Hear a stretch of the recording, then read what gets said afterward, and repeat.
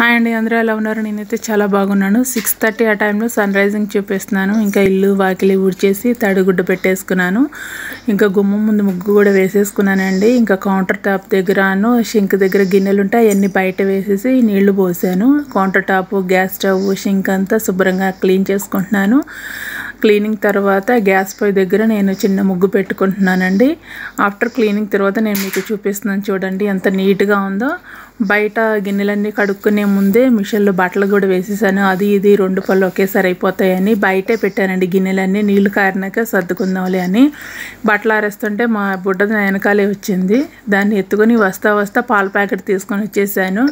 పొయ్యి మీద పాలు పెట్టేశానండి. ఇంకా స్ట్రాంగ్ ఒక కప్పు కాఫీ తాగుదాం అనే టైంకి ఈ నేను పొయ్యి మీద మీద గుడ్లు కూడా పెట్టాను. అదే గ్యాప్లో నేను జావ కూడా పొయ్యి మీద పెట్టేశాను. ఆ వీడియో క్లిప్ నేను తీయలేదు మర్చిపోయాను. ఈలోపు హీటర్ వేసేసి పిల్లలిద్దరికీ స్నానాలు చేసి రెడీ చేసేసాను. ఇలా రెడీ చేసేలోపు ఈ జావ కూడా అయిపోతుంది కదా అన్న ఉద్దేశంతో పొయ్యి మీద పెట్టాను. ఈలోపు అంతా రెడీ అయింది. అది చల్లార్చడానికి నేను వేరే ప్లేట్లో తీసేసి పెట్టుకున్నాను. అది కూడా చల్లారినాక హాల్లో తీసుకెళ్ళిపోయి వీళ్ళిద్దరిని కూర్చోబెట్టుకొని పెట్టేశానండి. ఈ గ్యాప్లో మా బుట్టది ఏముంటుందో చూడండి. ఏంటి అది తింటాం ఏంటి? తిన్నగా తినవా? అన్న ఎలా తింటున్నాడు? నువ్వు ఎలా తింటున్నావు? అల్లరి పిల్ల అల్లరి పిల్ల. మామూలు మామూలు కాదు. తర్వాత వీళ్ళిద్దరిని పడుకోబెట్టినాక నేను కూడా స్నానం చేసి ఇంకా బియ్యం కడిగి పొయ్యి మీద పెట్టేశాను. గుడ్లు కూడా ఉడికిపోయినాయి కదా పొద్దున పెట్టేశాను కదా. ఇంకా అవన్నీ ఉల్లిపాయలు దొండకాయలు అన్నీ కట్ చేసుకుంటూ కూర్చున్నాను అక్కడే.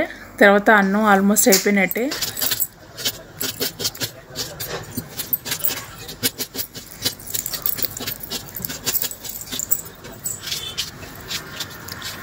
తర్వాత పొయ్యి మీద కడాయి పెట్టుకుని ఆయిల్ వేసుకుని పోపు వేసుకుని కరివేపాకు దొండకాయ ముక్కలు కూడా వేసేసాను. ఉప్పు కారం పసుపు వేసేసాను. ఫ్రై అయిపోయిన తర్వాత ఇంకా గుడ్లు అన్నీ ఒలుస్తున్నానండి.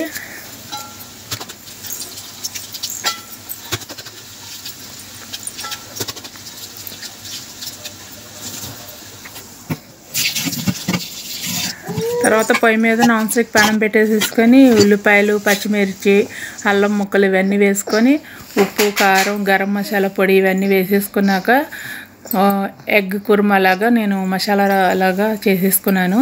తర్వాత నాకు బాగా ఆకలిసింది లెవెన్ అయిపోయింది. ఇంకా బ్రేక్ఫాస్ట్ కూడా ఏం లేదు కదా ఒక కాఫీ తాగి అలాగే కూర్చున్నా. ఇంకా నేను కూడా తినేసి పిల్లల దగ్గరికి వచ్చానండి. ఈ వీడియో నచ్చితే ఒక చిన్న లైక్ ఇవ్వండి. Thank you.